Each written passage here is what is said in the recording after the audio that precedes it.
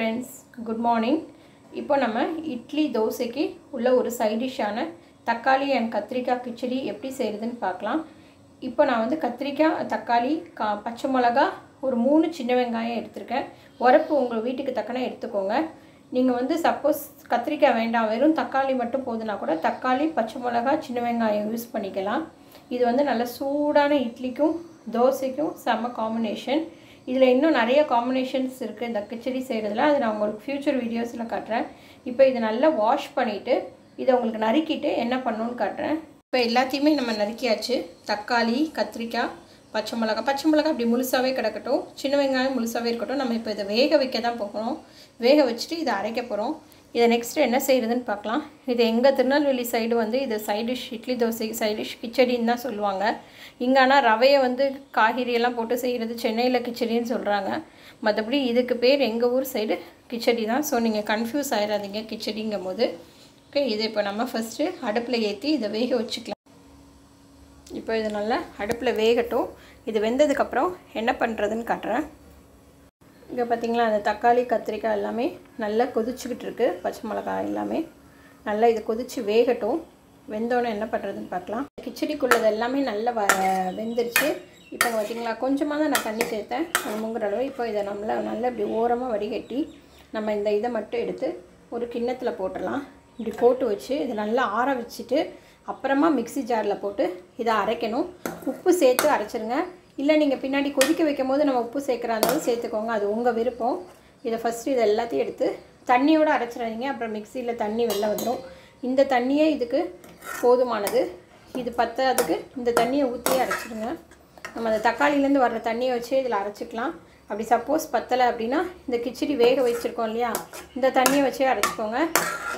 இந்த தண்ணியை கண்டா கொட்டிடாதீங்க. கிச்சடி வேக வச்ச தண்ணியை. அதில் தான் அதோடய ஃப்ளேவர் எல்லாமே நமக்கு இறங்கியிருக்கும்.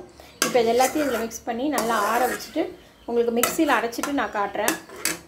நீங்கள் பாருங்கள் இது நல்லா மிக்சியில் அரைச்சிட்டு இதில் தேவையான அளவு மிக்சியை அலசி தண்ணி ஊற்றிட்டேன் நான் உப்பு சேர்த்தே அரைச்சிட்டேங்க. இதை இப்போது நெக்ஸ்ட் என்ன பண்ணுறதுன்னு பார்க்கலாம். இப்போ ஒரு கடாயை சூடு பண்ணிக்கலாம். இதில் தேவையான அளவு எண்ணெய் சேர்த்துக்கோங்க. உங்களுக்கு என்ன எண்ணெய் தேவையோ அந்த எண்ணெயில் நீங்கள் தாளிப்பீங்களோ அதை யூஸ் பண்ணிக்கோங்க. நான் நல்லெண்ணெய் எடுத்திருக்கேன். சும்மா ஒரு ஸ்பூன் போதும். ரொம்ப தேவையில்லை. இது கொஞ்சம் சூடு ஏறட்டும். சூடு ஏறினோன்னே உளுந்தம்பருப்பு போடணுன்னா போட்டுக்கோங்க. இல்லை வேண்டாம் அப்படின்னா கடுகு மட்டும் போட்டுக்கோங்க. கடுகு வந்து நல்லா பொரியட்டும். கடுகு பொரிஞ்சோன்னே இந்த கருவேப்பிலையை போட்டிருக்கோம் இல்லையா? கழுவி வச்சுருக்கோம் இல்லையா?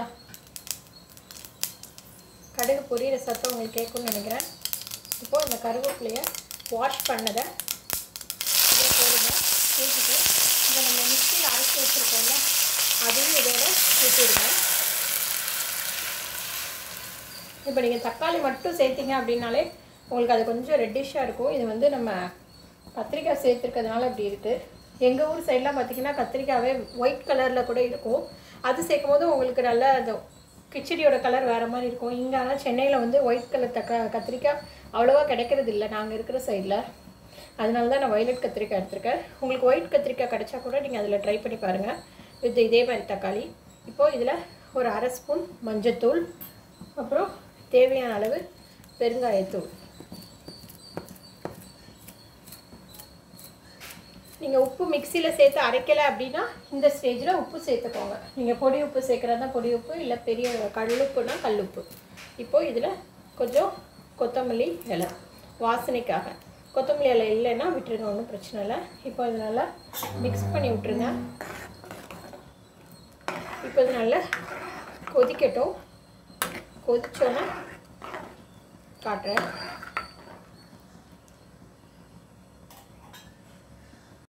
இப்போ நம்ம கிச்சடி கொதித்து ரெடி ஆயிடுச்சு.